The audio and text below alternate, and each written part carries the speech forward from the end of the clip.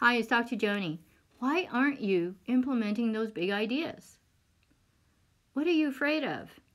You know, a big idea is going to scare you. There's no doubt about it because it's something that you've never done before, but you've been fantasizing about it, you've been thinking about it, and now you've become emotionally involved with it. So that's why you're afraid of it because you're about to take a step towards making it happen.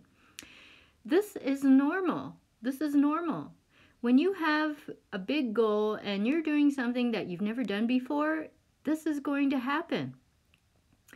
Certainly, when I finally made a decision to quit corporate altogether and go and do something truly meaningful in my life and you know uh, believe me I did my research I looked at three different areas I was looking at western herb herbology looking at natural nutrition certification and I looked at traditional Chinese medicine and I found that man, I already knew so much about nutrition and diet that I could be teaching those classes because I went and audited some of those courses.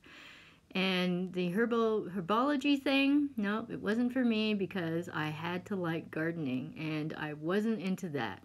But with traditional Chinese medicine, with my research, I found out that I could turn it into any kind of practice that I wanted. Now, that's exactly what I've done with it. I it has taught me so much. But then again, what I learned at school was only 25%. When I started my practice, that's when the learning really happened, and that's true for any job or career.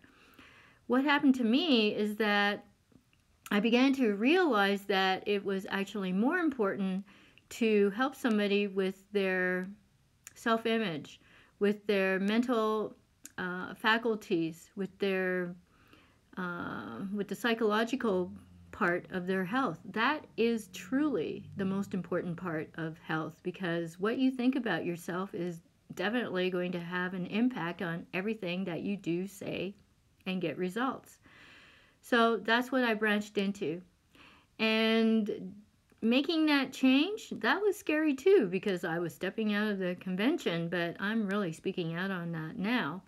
And there are, and I really have some really big financial goals in mind, which again is still scaring me today, but I am doing it. I'm walking into it in faith, I'm walking into it with intention, and that's what you've got to do in order to implement those big ideas. So it's okay to feel scared, but once you start taking action and more and more action, it's not going to be scary anymore. I'll guarantee you that. Now, one of the ways that you've got to make those changes inside yourself is to shift that paradigm. So that's why I'm offering the paradigm shift to you, which is happening on January 24th to the 26th, because it changed my life.